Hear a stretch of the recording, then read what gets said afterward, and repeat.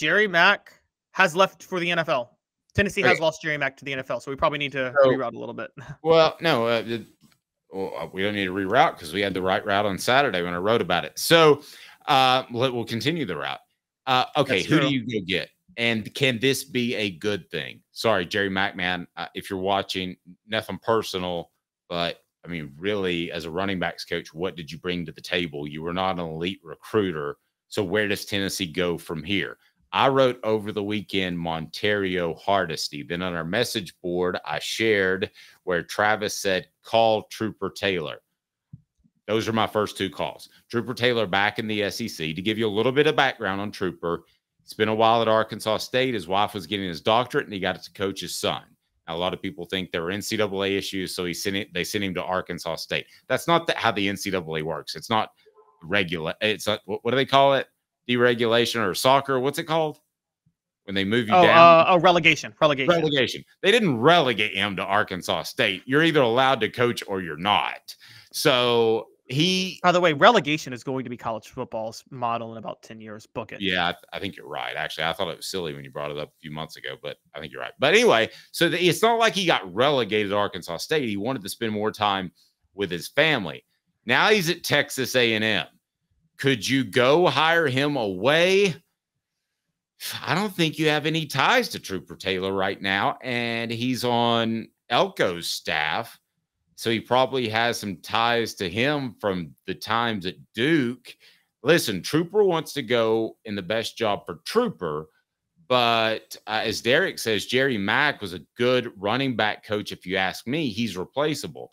So, yes, I will call him. Um, but uh, Travis is calling, get him on the show tomorrow. They will do it. They probably would. But um, I went realistic in my replacement because Trooper just signed with A&M.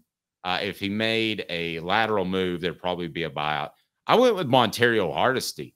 As a matter of fact, as much as I love Trooper, and I think he's an elite recruiter and a great, great underrated coach, not just a running backs coach. He's essentially a pseudo offensive coordinator. The question I would have twofold would he leave? But would Josh Heupel really want a guy who doesn't run his style of offense?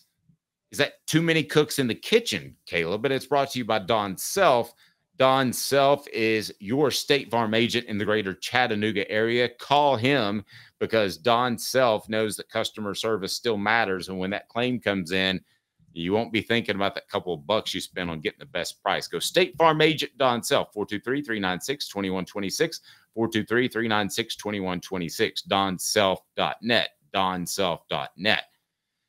So in this case, with Montario Hardesty being not the same strong personality in the room, and I mean that as a compliment in the right situation and having ties in the Carolinas and having coached at South Carolina, so you'd hurt your opponent. Caleb, I would I could make a strong argument Montario Hardesty over Trooper Taylor, who I think is a very good recruiter. But in this situation, I could make an argument over Montario Hardesty. And who doesn't love seeing, as long as his name's not uh, uh, Chuck Smith, who doesn't love seeing a former ball come to coach at Tennessee? No, you're right. There's a little bit more. There, there's actually a little bit more connection with Trooper in Tennessee, where he would be a better fit with Josh Heupel's offense than I think you realize. Uh, when he was at Arkansas State, Dave, you know he worked with Glen Elarbee, who was at Arkansas State at the time, yes. and uh, in addition to working with Glen Elarbee, Blake Anderson, who was the head coach, is now at Utah State, and his offensive coordinator is Anthony Tucker, who worked with Josh Heupel when they were at Utah State. So they actually have similar offensive principles. He also worked under Gus Malzahn for uh, for four years, who has his own, or actually, I'm sorry, it was two because then Gus Malzahn left for another job. But still, he worked under Gus Malzahn for two years. So Trooper has a certain level of understanding. And here's the honest truth. One Trooper Taylor, here's a guy who just had bad luck because he was rising the coaching ranks and would have been an offensive coordinator in two or three years if he didn't bolt Tennessee when he did. Honestly, I think. Um, but I don't really think I, he had bad luck. I think he went to Arkansas State because that's where his son could play. His son wasn't good enough to play. I really think it was a family decision. Now I could be being lied to, but Troopers never lied to me. Okay, I, I, I actually would believe that. I think had Trooper not done that and had tried to stay on the coaching track, he'd be an offensive coordinator now. And here's here's the big deal for this. Well, and his wife's like a psychologist, and I know she wanted her doctorate, so she was able to get it there too. They they had a psychology degree. Anyway, okay. So Trooper, here's the thing that I don't know if Montario brings that Trooper would bring, Dave. And this is a big one. And I say this is a big one because I have reservations about Josh Heupel. Trooper can evaluate talent. Trooper can evaluate talent extremely well. And there is some and by the way, there's something about it because you see this with Rodney Garner. One of the unique things about the, you know, those longtime SEC assistant coaches who have bounced around SEC schools, but they're longtime SEC assistants. yes, They're one unique school. They're they're almost all great at evaluating talent once they have experience in that in, in doing that. And I like Montario Hardesty is an SEC guy, but I mean Trooper Taylor, that guy scout. That I, am surprised he hasn't been a, hired as a lead scout for an NFL team. Honestly, I'm with you, brother. I, I'm with you. I think he's fantastic. Uh, portions of the program brought to you by the Hemp House. We're going to get an update on our poll question.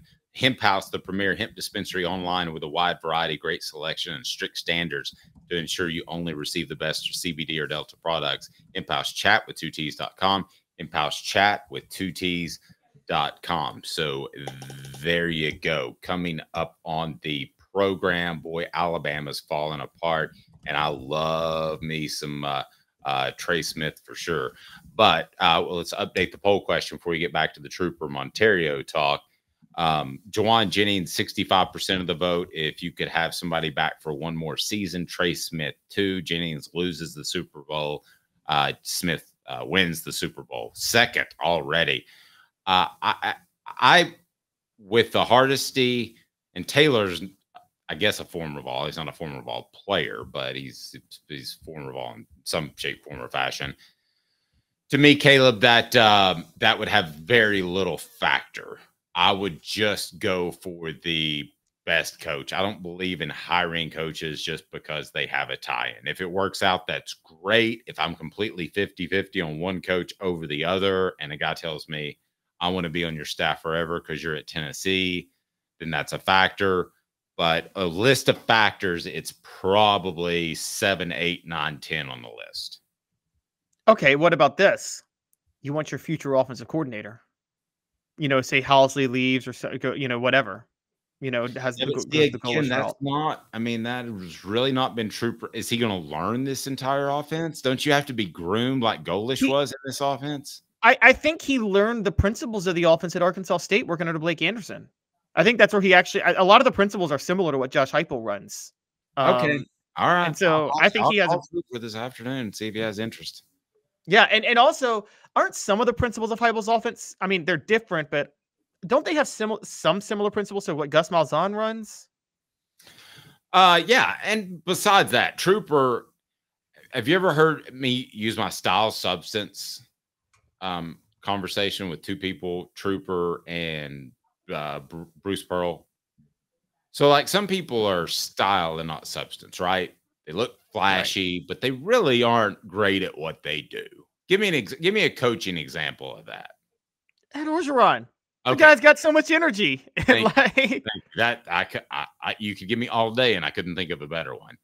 But substance wise, as a head coach, he, he ain't got it. You know, he's a good defensive line coach, and he is a good recruiter.